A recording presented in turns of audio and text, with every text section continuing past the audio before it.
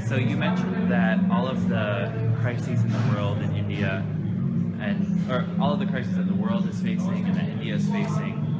What opportunities do you think fair trade and a fair trade business model has to fight these crises? I think I think the fair trade movement faces a number of new challenges if it wants to go much further than where it is now.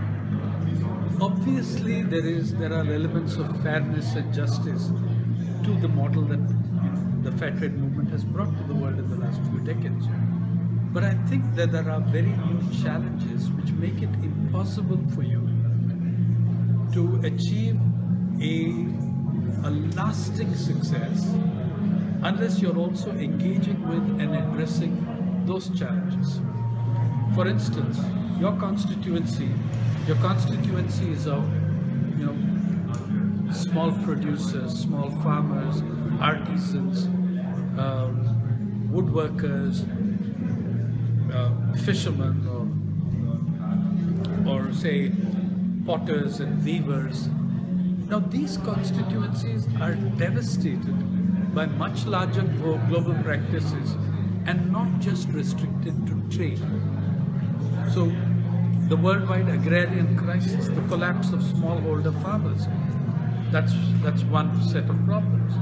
To the worldwide crisis of water that is affecting all human beings and non-human beings as well, but particularly crushing small producers and small farmers.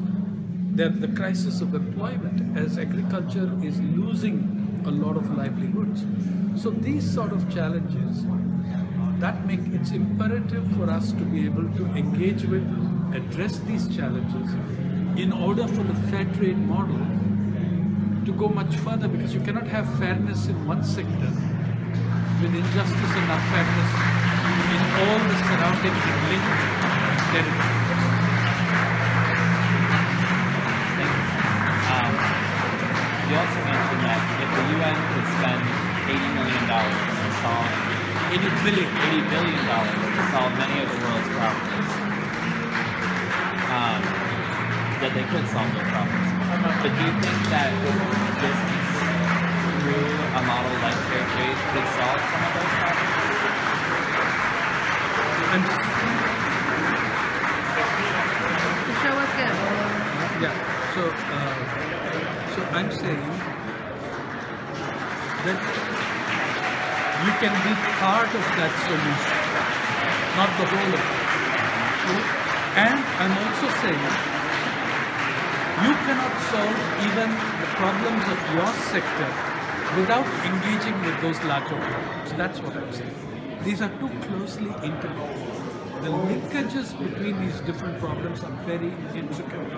Now, what the UN does is it puts out a menu or a bill each year. So the General Secretary says 15 to 20 billion dollars, by which I mean additional expenditure each year, recurring. Okay? Say suppose you're spending 40 billion dollars now, you need to spend 55 billion dollars. So suppose the world finds 15 billion dollars, every child can go to school up to class 5.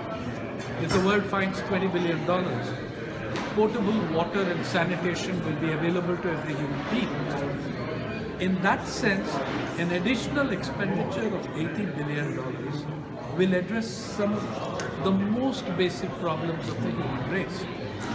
We, for 30 years, the UN has been telling us this, but we've never had the money.